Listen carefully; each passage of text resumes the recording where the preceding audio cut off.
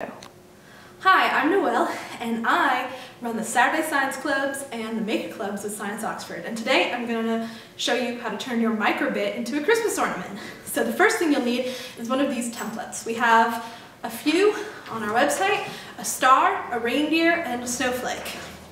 You're going to cut these templates out and use them to make the same shape in felt. Now you can decorate them however you like, just make sure that you align the spaces for the screen and the buttons for your microbit so you can still use it while it's hanging on your Christmas tree.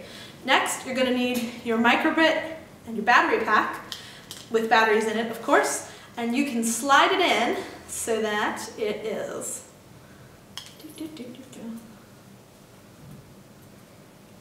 showing through the felt appropriately. Now, the last and most important step is to make sure you hang it somewhere visible on your tree. Merry Christmas!